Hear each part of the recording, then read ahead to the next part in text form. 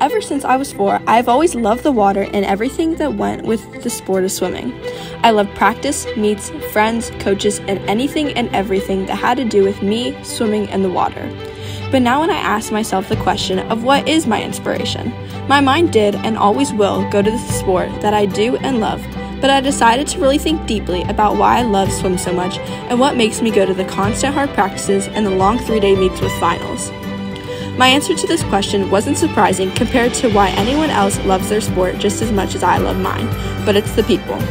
But not just the people, but the small things that everyone does that cheers everyone else up to go get that PB or swim a hard set or go their fastest. I figured out that I love swimming and doing all of that for our handshakes. Definition of a handshake is an act of shaking a person's hand with one's own used as a, a greeting or to finalize an agreement. This isn't the type of handshake that I'm talking about. I'm talking about something special that certain people do that is their own and stands for something.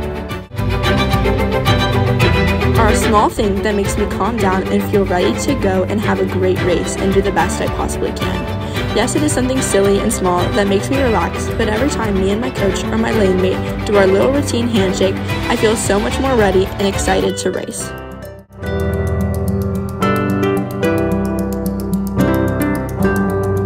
Swimming will always stay my inspiration forever because I love all the small things that come with doing the sport. I love the people around me and everything that we do to keep each other upbeat during a hard practice or before a race when you had a bad race before. I love our handshakes.